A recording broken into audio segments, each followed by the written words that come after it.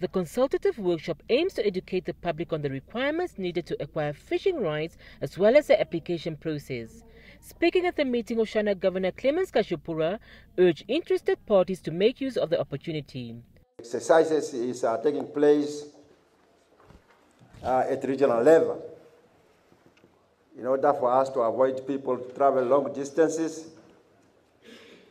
to go to Windhoek. And uh, also, maybe where it's possible, to fill in also these forms correct uh, uh, in a manner that is required. Leonard Nangutuwala, who was representing persons with disabilities, wants all individuals, irrespective of their social and economic status, to be considered for the fishing rights.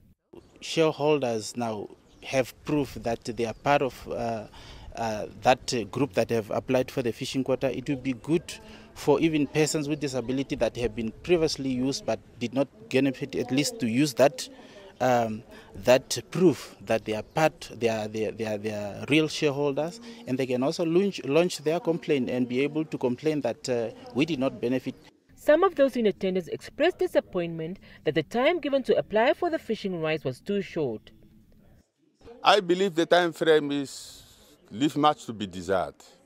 If they could have done it much earlier and give us time to meet all those requirements as stipulated for in the government gazette, it could have been much better rather than doing it, giving us staff time to run around in 37 days to fulfill all the requirements as per government gazette. I think it's a little bit fair to us, unfair to us.